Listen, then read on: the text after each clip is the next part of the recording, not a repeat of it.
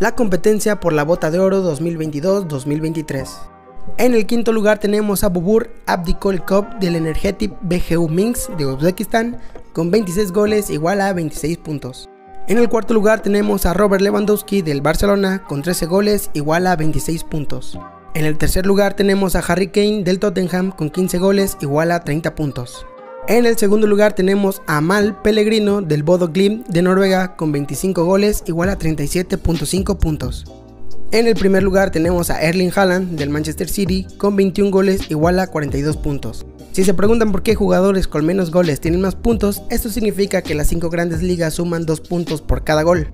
Ligas como la de Noruega suman 1.5 puntos por cada gol y ligas pequeñas como la de Uzbekistán suman un punto por cada gol.